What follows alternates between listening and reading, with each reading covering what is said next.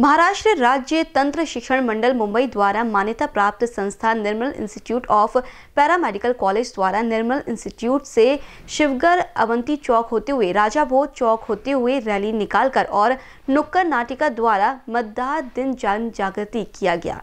कार्यक्रम में मुख्यतः कॉलेज संचालक doctor Ramesh Tembhare professor Bharati Patle, professor Amit Thaware, principal doctor Mitesh Verulkar, professor Tiwle Radhe Utpalji Sharma, Ganesh Lal, Pritam Dharmendra, Sheetal Kunal Rohit, Mohit Khushhali Khushboo Pallavi, Sharnagat Thanganlal Kawade, Ravi sir, Vinod Nagvanshi आदि ने सहकार्य किया।